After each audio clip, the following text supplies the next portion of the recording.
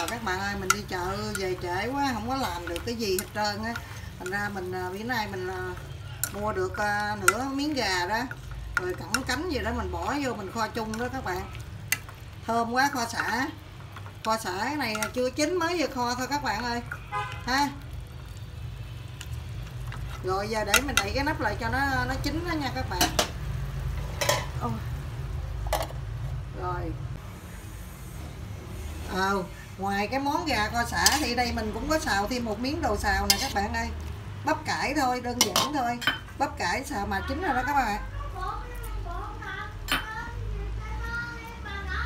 Đói bụng rồi hả? Chào bà nội chú mình đi chợ về trễ quá, tại mua nhiều thứ quá nó không có kịp làm luôn đó rồi ngoài cái món thịt gà kho xả đó các bạn, thì ở đây mình cũng có tôm khô, xào bắp cải.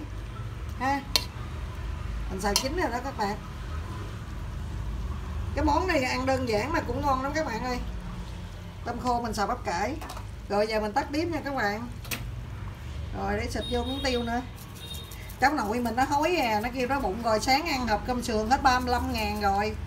Rồi à, à, ngồi chơi game vậy thôi. Rồi giờ kêu kêu nó bụng rồi à, à, bà nội ơi bà nội làm cơm lẹ lẹ đi.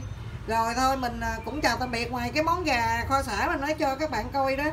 Thì giờ mình cũng có cái món này à, đó nó có hai món đơn giản này thôi. Rồi.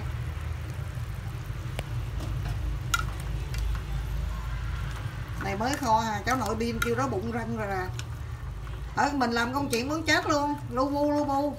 Ở không là đó bụng đó bụng rồi đó. Rồi giờ mình đậy lại chút nữa đi. Rồi bây giờ ờ, mình chào tạm biệt các bạn hẹn gặp lại ở những video sau cái món này rất là đơn giản mà cũng dễ ăn. Các bạn ơi, bắp cải xào tôm khô thôi.